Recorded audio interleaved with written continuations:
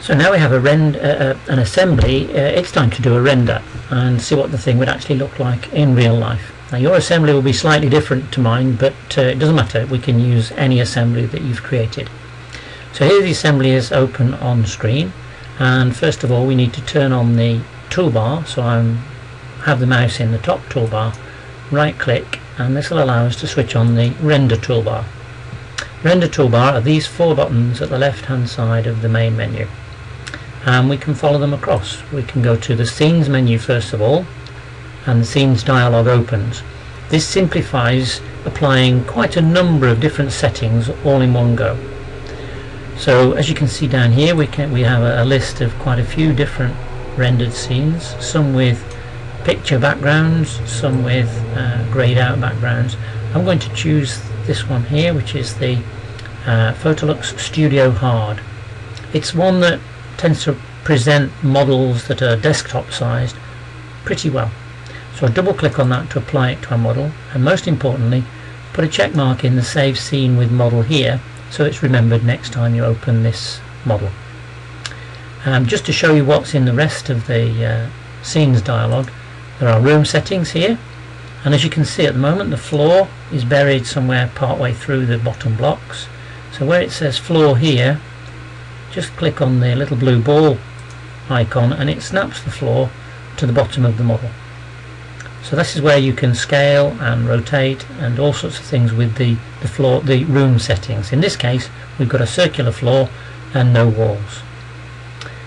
Uh, in lights you'll see that there is just one light that's active at the moment. The default distant light here is switched off hence the cross through the, the eye and we've just got an environment light. An environment light gives you a general all-round lighting which is good good effects to begin with. You can experiment with adding different lights with these buttons here changing the direction all sorts of other things. We're going to stick with the default lighting at the moment. And we're not going to change any of the effects just stick with the, the default scene. So the action was to apply the scene check that it's saved with the model and then under room snap the floor to your model. We can close that down and if we don't make any further changes we can do a quick render with the teapot tool. This should happen quite quickly and you'll see it gradually refining it and it'll give you a really good idea of what the final rendered image is going to look like. So we can see there's quite a lot of reflections on here some shadows on the floor and on a fairly quick computer we can see the results very quickly. But we want to get rid of these rough jagged edges around the sides and do a better job at the render. So we can now go into the next button in the toolbar the render setup and we'll see the render setup dialog. So at the moment we're just doing a draft render. We are using the Photolux which is the highest quality that we can get in Creo Elements Pro. So we can change draft to high resolution and you can see that changes some of these settings for you automatically. Just a quick look at some of the other things which for the moment we'll leave as defaults and I'll point out on the watermark scale that we won't see it very well because it'll be in white text here and it'll be advanced rendering extensions but it'll appear at the bottom of the of the window. We may not want that and at the moment the output is set to render to the window. We can actually change that in the future to rendering to a particular file format.